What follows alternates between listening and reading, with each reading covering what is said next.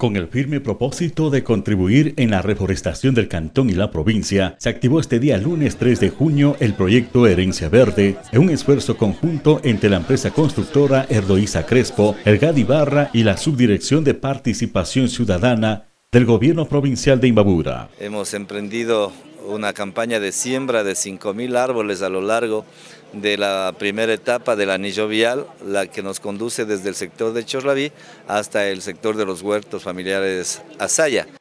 En relación a los espacios considerados para la aplicación de este proyecto Herencia Verde, se informó. Existen unos espacios en los costados, obviamente que fueron dejados con esa intención y en, este, en estos espacios nosotros estamos aportando con 5.000 eh, eh, plantas eh, nativas, ¿no? que son plantas de la zona, así es que hoy hemos venido a dar ejemplo para sembrar vida para sembrar algo que va a cuidar nuestros pulmones y los pulmones de la ciudad. Desde la coordinación se explicó las características de las plantas. Eh, estas plantitas son unos cholanes, son las típicas que botan esa fruta amarilla en época más o menos de febrero o marzo, ¿no? que se ve bonito cuando vamos nosotros por el sector de Urcuquí, eh, por la vía también que Ibarra Tulcán.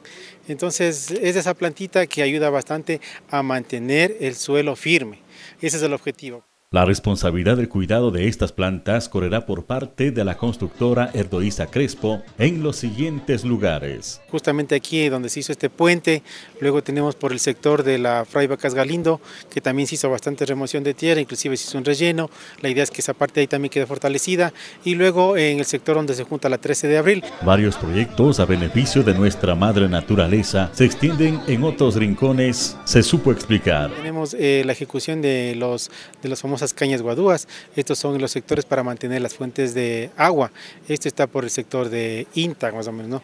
Y en fin, un poco más de proyectos de, árboles ornamentales que van a ayudar también, a más de ayudarnos a, eh, a mejorar el ambiente, también a ver una provincia verde, una provincia linda. Con imágenes de Edín Mafla, informó Bonilla en TVN Canal.